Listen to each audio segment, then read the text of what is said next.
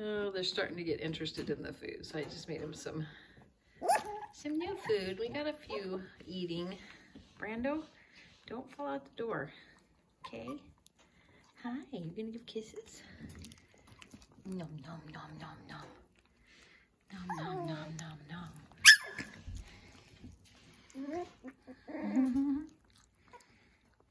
They're just lapping at it. It's soaked really soft, so if they want to gum it down, they can because they don't have too many teeth at this point. Let me feel your mouth.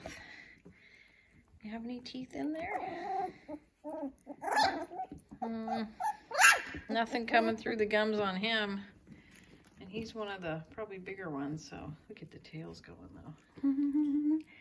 Don't fall out. The curls we've got in this litter too. Hi. Kisses, thank you. That's so sweet. That's so sweet.